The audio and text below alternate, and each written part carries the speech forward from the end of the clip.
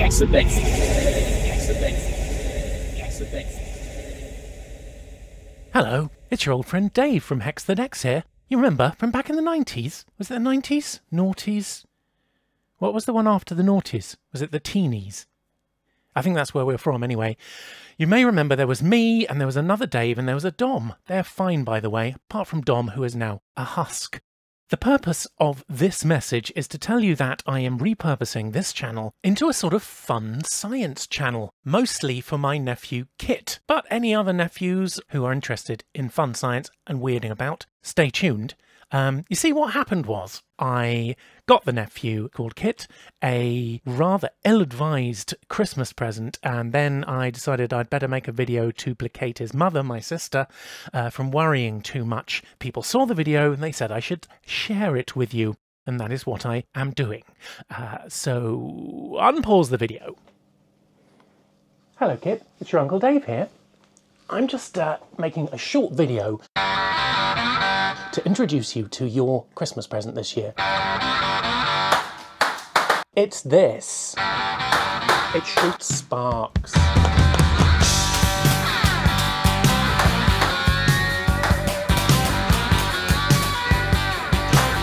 I'm here to tell you, honey.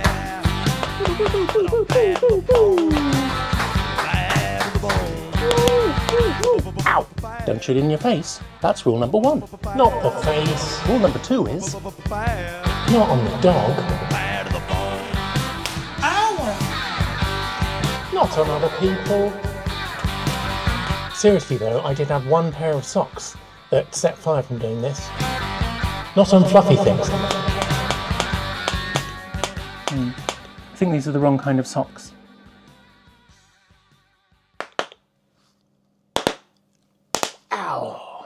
Still don't do it on the face. Those are the don'ts. But what is this thing? Well, it's an example of a device called a Tesla coil that was invented by Nikola Tesla, uh, a genius and mad scientist from uh, over 100 years ago. He made absolutely huge ones. You can see pictures of him sitting with bolts of lightning shooting over his head, and he actually powered his lab off the Niagara Falls hydroelectric dam, which is a huge amount of power. So he was making massive sparks.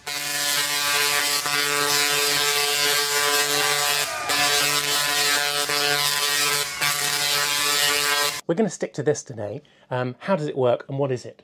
Well, you can see it consists of a box which has got some electronics in it, and this thing here, which is called a secondary coil, which, as you've received it, will be unscrewed. Um, so all of that is like a sort of toilet roll, isn't it? With uh, a lot of wire. Have a look under the, the microscope here, have I got anything for a scale?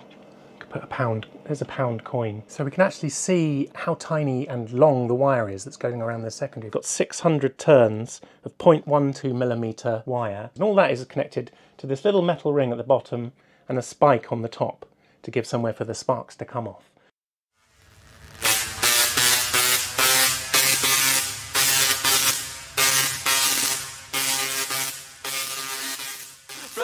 From my heart and from my hand, why don't people understand my intention? Nikola Tesla was an interesting kind of guy. He had lots of amazing accomplishments. He really contributed to AC electricity like we have today. He invented the AC motor, which is one of the most important inventions ever. But he also did all this crazy stuff, like he claimed that he had a death ray, he claimed that he picked up signals from Mars, um, he thought that he could transmit power anywhere on Earth using bigger and bigger coils. It.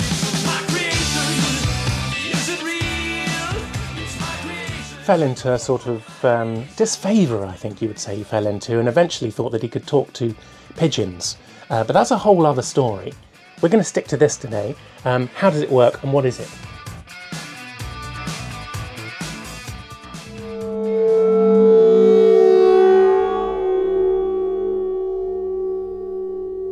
Resonance. I'm just going to quickly show you using a screw, and on the other end of the wire, I've got a resistor. Put the screw into the um, secondary coil. Got some tape here, like so. And this should be fine. Connect that into one side of this frequency generator. Create a sine wave. I've got a nice modern oscilloscope down here. You can see it. But we're going to use the exciting old-fashioned one because I know you like those. I do too because you can see how everything's working and it smells nice. Bring you in. Okay. We've got the resistor here feeding into here. 1 million, that's good. A million hertz. Stop frequency, 2 million. 1, 2, 3, 4, 5, 6 hertz. You can see it says hertz on the button there. See it goes big. It's the frequency going up. Now it's going down. So it's going up and down. And then at some point, ooh, it goes really small. And that is when the coil is in resonance. So I'm going to try and stop its going really low. There we go. Okay, so I stopped it.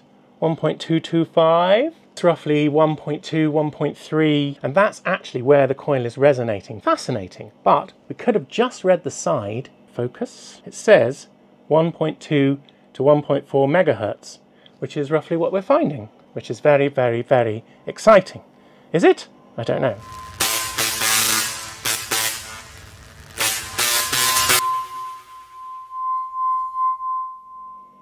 So um, we know the resonance of this coil here. Um, so now it just needs to be energized and that's what the rest of this box does that we've got here. Okay, so can you see inside, I mean you can look in on your one, three or four stripes of copper on the uh, printed circuit board in there that go around in a coil. So that's called the primary coil. And that is where we're feeding in the frequency. For a very short amount of time, it goes and that boosts the voltage of the secondary up and causes lightning to shoot out. This just screws onto here. Turn that up and the spark goes so far. I think the reason why this spark shoots so far is because the frequency is very high. With each oscillation at that 1.2 million times a second, it's kind of creeping a little bit further out into the air, so it's sort of finding its way along plasma fingers.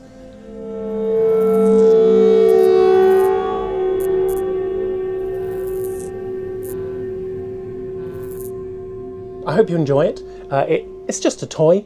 It doesn't really have any purpose. You could argue that it's useful for testing high voltage insulators. You could argue that it's for mm, no, it doesn't really have a purpose. I think this is one of the reasons why uh, Nikola Tesla, the inventor of the Tesla coil, went mad in the end. He was obsessed with his Tesla coils and similar sort of inventions, and he tried to work out ways of transmitting power wirelessly around the world using these systems and everything. But he was kind of doomed to failure on the rest of it because although he'd created something that was very spectacular, as this toy is, um,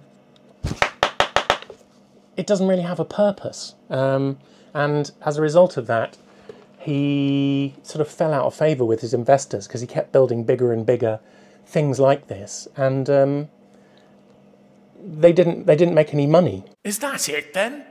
well, you know, in a way, maybe you'd benefit from another demonstration.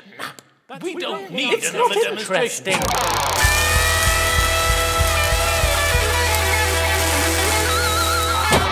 See? Pretty cool, right? It doesn't actually do anything, does it? Happy Christmas, mate. Bye.